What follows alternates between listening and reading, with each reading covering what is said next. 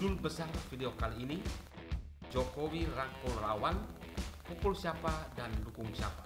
Sahabat suara Flores sekalian, Anda adalah orang yang paling rajin mengkonsumsi berita-berita politik, baik berita nasional maupun berita lokal. Untuk itu tentu saja Anda penasaran untuk mencari tahu apa misi besar di balik langkah politik Jokowi atau apa misi besar di balik strategi Jokowi yang tengah ia bangun saat ini merangkul lawan-lawan politik.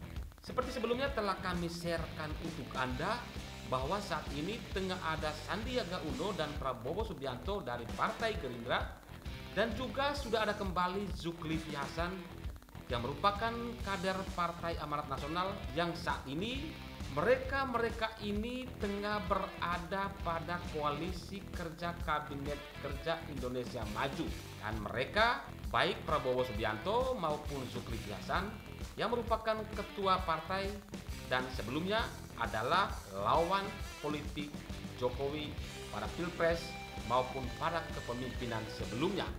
Melihat dinamika politik tanah air yang makin hari makin memanas, dari langkah-langkah politik yang tengah dibangun oleh Presiden Jokowi saat ini dari dua partai besar yakni Partai Amanat Nasional dan Partai Gerindra tentu saja membuat lawan-lawan politik di luar dua partai besar.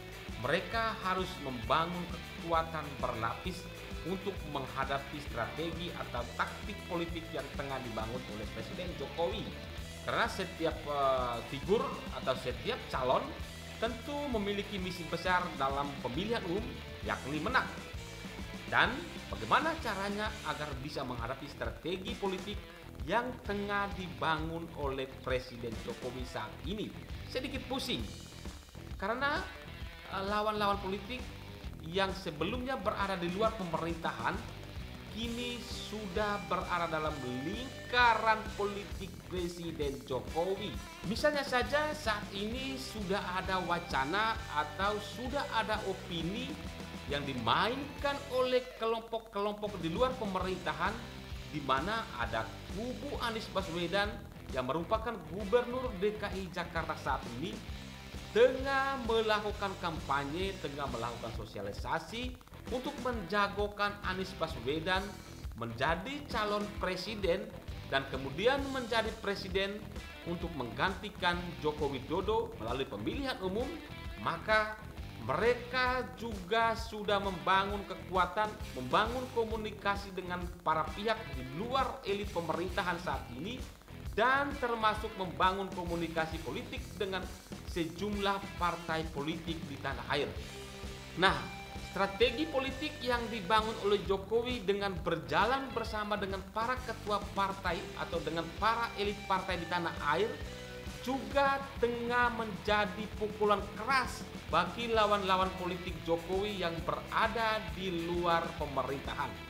Misalnya Anies Baswedan dan mungkin juga AHY dari Partai Demokrat yang saat ini juga begitu gencar berjalan mensosialisasikan diri mengkampanyekan diri dan membangun strategi politik dengan berbagai organisasi dengan dengan melalui pintu Partai Demokrat untuk mencalonkan diri dan menunjukkan bahwa dia atau mereka adalah kader terbaik saat ini untuk menggantikan Presiden Jokowi. Namun demikian strategi yang sudah dibangun oleh Presiden Jokowi ini tentu saja menutup ruang gerak politik baik Anies Baswedan maupun Agus Harimurti Yudhoyono.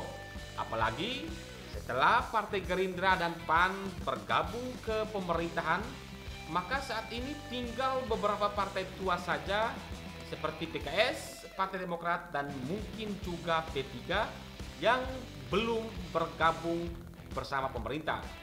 Dan tentu saja mereka ini tidak mungkin bergabung dengan pemerintah dan mereka bakal menjadi lawan politik Presiden Jokowi atau menjadi lawan politik Kabinet Kerja Indonesia Maju. Dan sekarang tinggal saja beberapa partai kecil atau partai baru yang belum bergabung ke pemerintahan dan mungkin saja mereka pasti membangun koalisi atau diajak berkoalisi dengan kelompok Anies Baswedan maupun kelompok Agus Harimurti Yudhoyono dari Partai Demokrat yang juga memiliki kekuatan penuh memiliki strategi dan memiliki taktik politik yang tidak kalah untuk bersaing merebut kursi eksekutif menjadi presiden menggantikan Jokowi. Nah, terlepas dari keberpihakan Partai Gerindra, keberpihakan Partai Amanat Nasional yang saat ini sudah berada di lingkaran pemerintahan atau lingkaran istana, langkah politik Jokowi yang merupakan kader banteng moncong putih ini atau kader PDI Perjuangan ini dapat dilihat sebagai sebuah kekuatan atau sebagai upaya untuk menghimpun kekuatan untuk mendorong salah satu kader atau menjagokan salah satu calon presiden dari Partai Banteng Moncong Putih menuju kursi eksekutif merebut kursi presiden dan menggantikan Jokowi dengan melawan elit-elit politik lainnya seperti Anies Baswedan dan juga Agus Harimurti Yudhoyono bila maju dalam pesta demokrasi Pilpres 2024 mendatang. Lalu, siapakah calon atau kader jagoan yang bakal didorong oleh PDIP, yang bakal didukung oleh Presiden Jokowi agar dapat bersaing untuk menggantikan Presiden Jokowi melalui Partai Banteng Moncong Putih dengan didukung oleh lawan-lawan politik yang saat ini sudah berada di koalisi pemerintahan atau sudah berada di lingkaran Presiden Jokowi. Lalu apakah mungkin mereka itu diajak untuk mendukung atau tidak? Nah, kita harus lihat lebih dalam, mengkaji lebih dalam apa misi besar Jokowi di balik merangkul lawan-lawan politik di Kabinet Kerja Indonesia Maju dengan posisi yang begitu strategis. Kita lihat saja. Yang jelas bahwa saat ini kader PDP ada dua kader PDP yang tengah gencar dikampanyekan oleh media sosial, dikampanyekan oleh media mainstream melalui opini, melalui tajuk, atau melalui berita-berita dalam kegiatan-kegiatan politik, baik kegiatan partai, kegiatan di parlemen, atau kegiatan di eksekutif, tengah gencar dikampanyekan, disosialisasikan. Mereka adalah Ganjar Pranowo sebagai Gubernur Jawa Tengah dan juga Puan Maharani yang merupakan Ketua DPR RI saat ini. Keduanya begitu viral, begitu ramai didiskusikan di tengah jagat media sosial, di tengah rakyat Indonesia sebagai pesaing sebagai kompetitor yang memperebutkan kursi calon presiden atau kursi bakal calon presiden yang dijagokan oleh PDI Perjuangan atau Partai Banteng Moncong Putih. Siapakah yang bakal dijagokan oleh PDP? Jokowi sudah membuka langkah dan Jokowi sudah membangun taktik politik.